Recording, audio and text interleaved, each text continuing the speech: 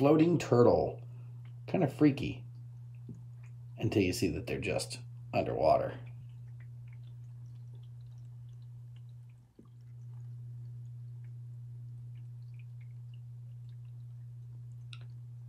I honestly had no idea that the uh, box turtle was aquatic and they like to be underwater.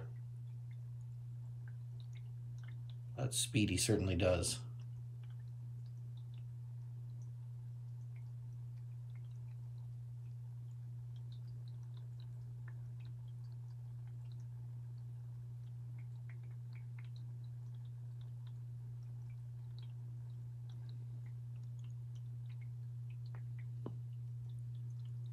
And that's what he's going after.